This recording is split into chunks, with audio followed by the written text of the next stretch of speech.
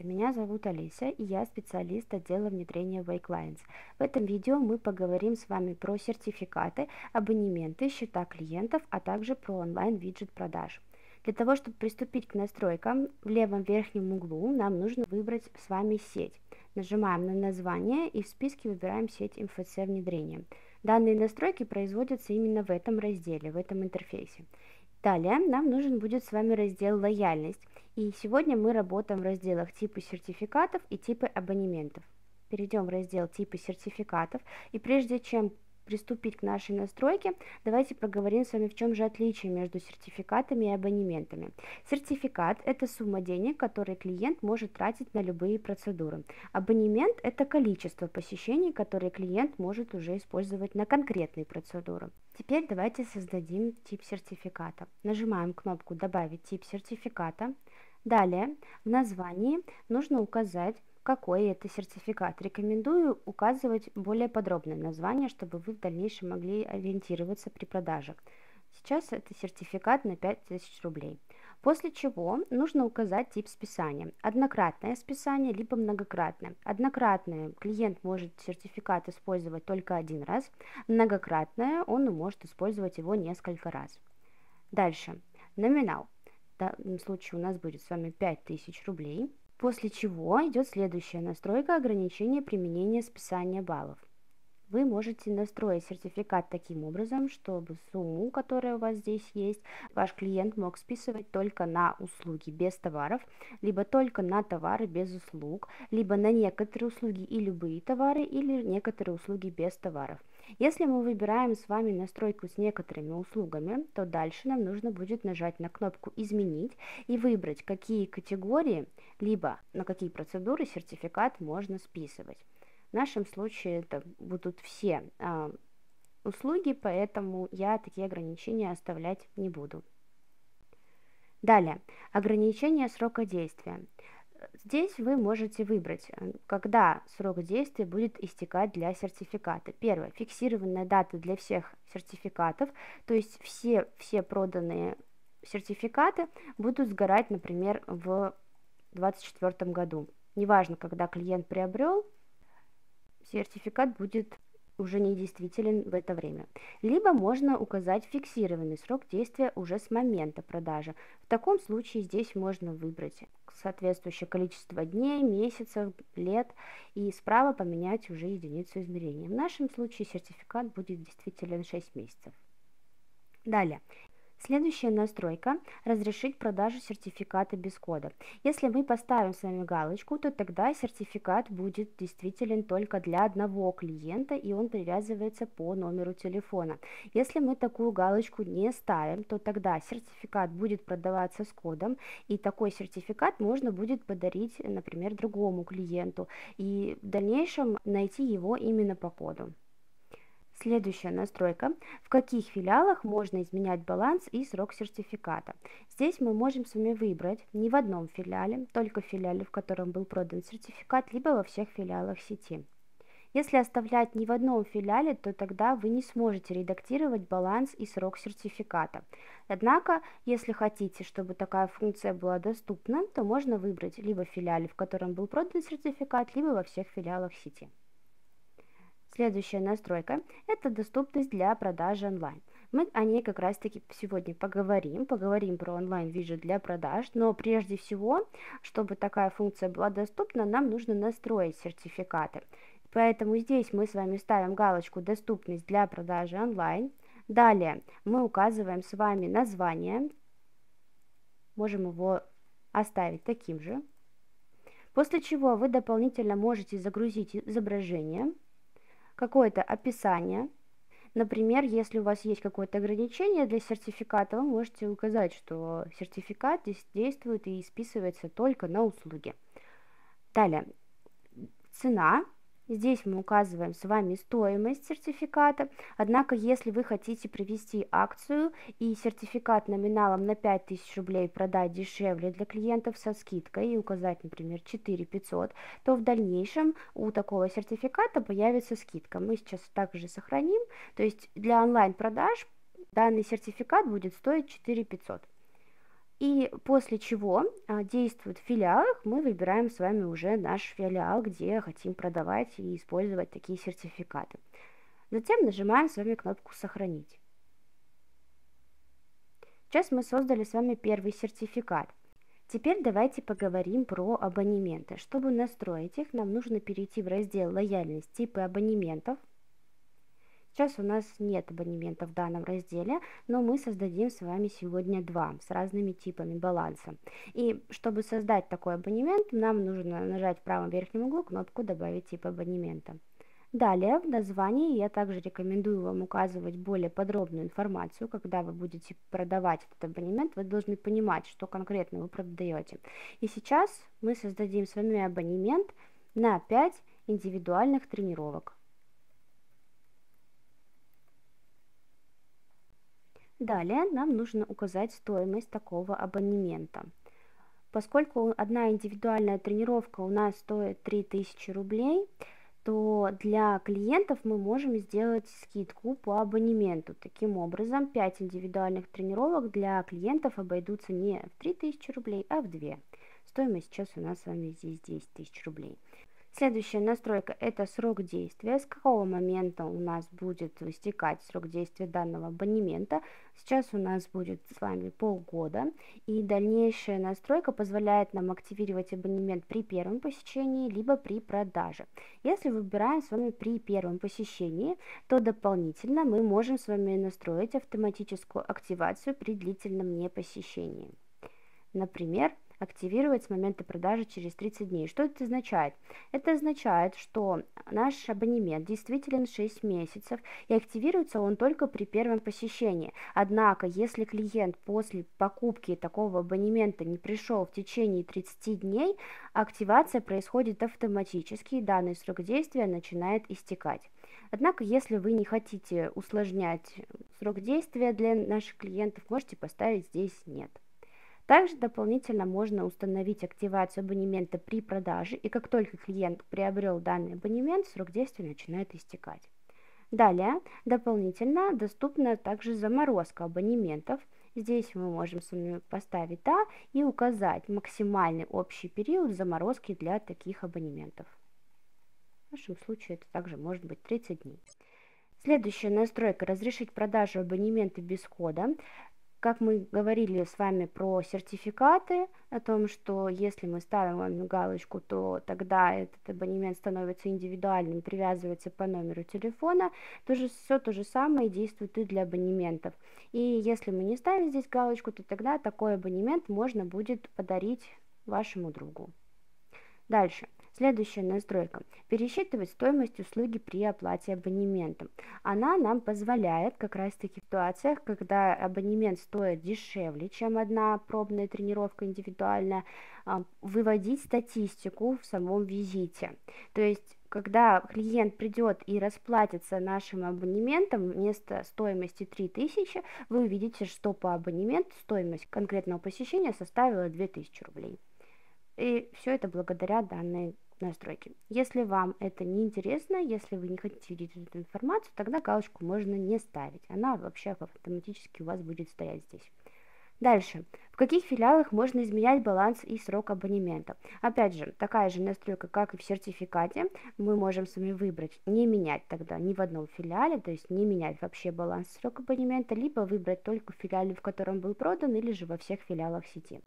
Далее, следующая настройка – это доступность для продажи онлайн. Как я говорила, сертификаты и абонементы мы можем с вами продавать онлайн. Для этого у нас есть виджет онлайн-продаж, мы про него скоро поговорим. И чтобы абонемент также был доступен, мы с вами ставим здесь галочку. В названии вы также дополнительно можете прописать какую-то другую информацию, либо скопировать то же самое название, которое есть у нас с вами уже для этого абонемента. Следующее также изображение, описание какое-то и также стоимость такого абонемента для клиентов. Дальше. Действует в филиалах, и здесь мы отмечаем с вами галочку МФЦ внедрения. После того, как мы указали все необходимые настройки, нам нужно дальше перейти в раздел «Услуги». И уже здесь, в этом разделе, мы должны с вами привязать услуги, которые действуют по этому абонементу. У нас также здесь есть настройка баланса абонемента общий и раздельный. Мы поговорим про них более подробно в создании следующего абонемента. Сейчас для абонементов, на которых у вас есть только одна услуга, мы можем с вами выбрать общий. Далее а, мы выбираем с вами категорию. В нашем случае это индивидуальные тренировки. И после чего вы можете настроить абонемент следующим образом. Выбрать конкретную услугу, в нашем случае это персональная тренировка, и нажать плюс.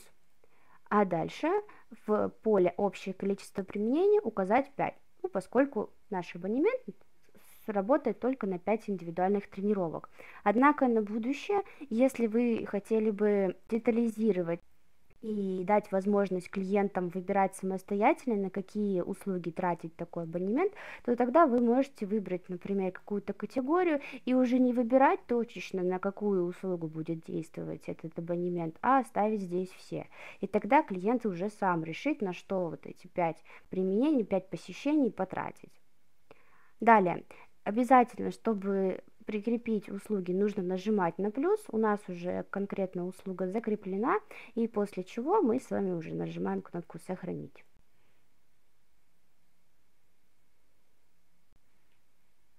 Проверяем все настройки. И далее, чтобы вернуться на вкладку типа абонементов, мы можем переключиться здесь через данный раздел. Теперь давайте создадим с вами еще один абонемент. Чтобы это сделать, опять нажимаем кнопку «Добавить тип абонемента». И сейчас мы создадим с вами абонемент, в котором будет несколько услуг. То есть это будет какая-то определенная программа. Например, абонемент на 5 процедур антицеллюлитного массажа и массажа лица. Даже давайте сделаем на 10 процедур целлюлитного массажа и массажа лица. Такие названия длинные, конечно, вы можете не фиксировать. Если у вас есть какое-то конкретное название для программы, то здесь вы тогда можете прописать, например, сеанс райское наслаждение и, собственно, дальше уже прикреплять услуги. Дальше. Стоимость у нас с вами будет сейчас, поскольку здесь 10 процедур, и тогда мы с вами укажем здесь также 10 тысяч. Одна процедура массаж лица у нас стоит 1000 рублей, антицеллюлитного полторы тысячи, поэтому все вместе это будет выходить клиенту со скидкой. Далее, срок действия, опять же, указываем с вами необходимые нам данные. После чего, опять же, проставляем продажу абонемента без кода, возможность пересчитывать стоимость услуг при оплате абонемента. Далее, в каких филиалах можно изменять баланс и срок абонемента. И также доступность для продажи онлайн, если мы хотим продавать такой абонемент. После чего ставим галочку «Действует в филиалах МФЦ внедрения». Переходим с вами в вкладку «Услуги» И теперь поговорим с вами про баланс абонемента. Есть два вида – раздельный и общий. Раздельный баланс абонемента позволяет нам указать точечно для каждой конкретной услуги определенное количество посещений. Например, мы выбираем с вами категорию услуг, в данном случае у нас это массаж, и выбираем антицеллюлитный массаж и указываем, например, 5 посещений. Далее сразу же выбираем следующую с вами услугу, массаж и массаж лица. И здесь мы указываем также с вами 5 процедур. В сумме у нас абонемент был на 10 посещений, и мы строго указали, что 5 посещений на антицеллюлитный массаж и 5 посещений на массаж лица. Ну, это количество, конечно же, вы можете менять, например, 6 и 4. Все зависит от ваших целей, от ваших программ.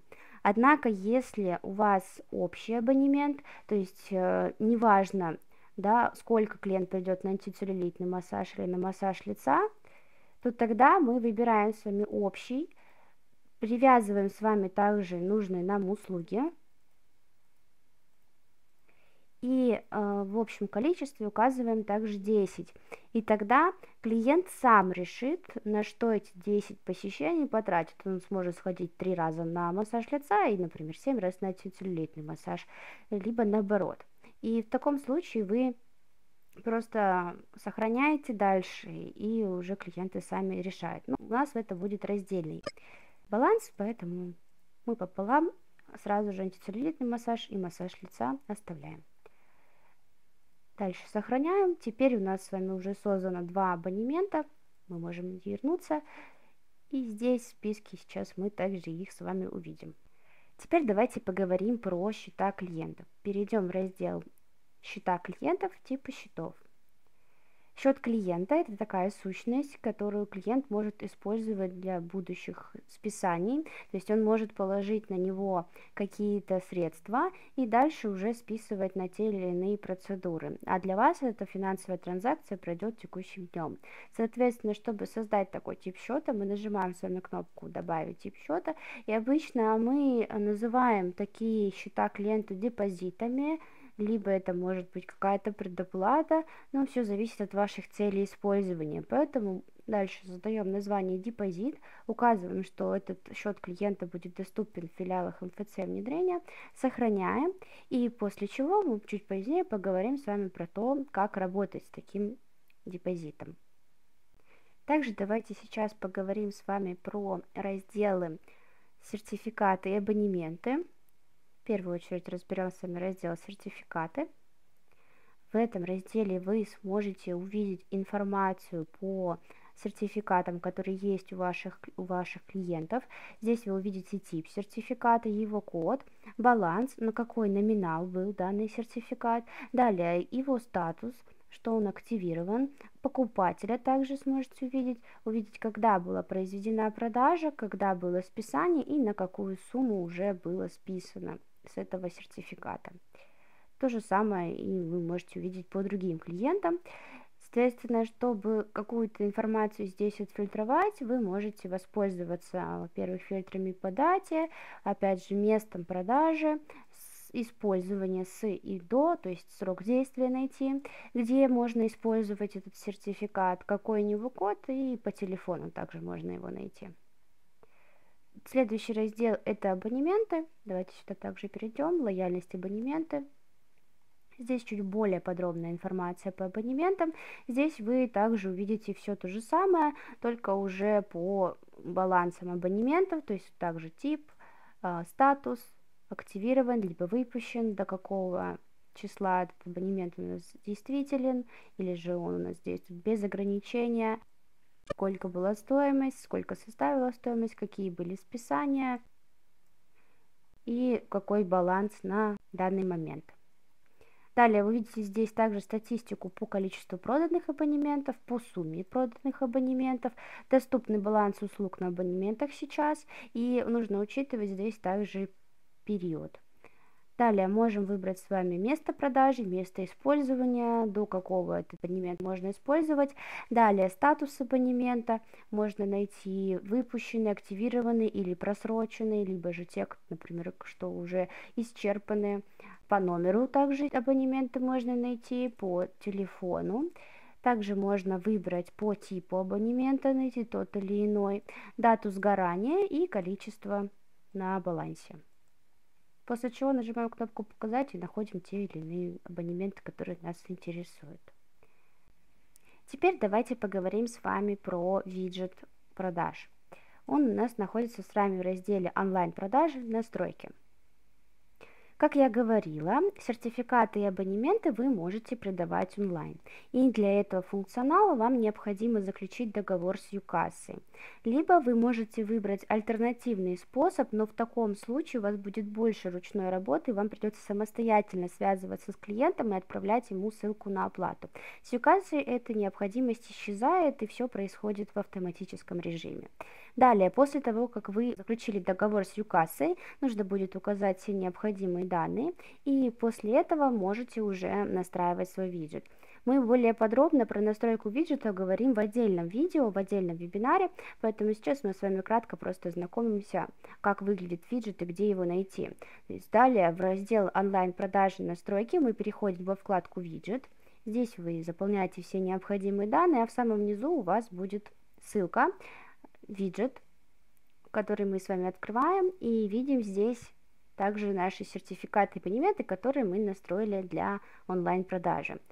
Все это видит клиент, и дальше он может выбрать сертификат, посмотреть информацию по нему, что включено, в какой срок действия, где использовать такой сертификат, и также, если он у нас с вами со скидкой, мы эту скидку также здесь увидим.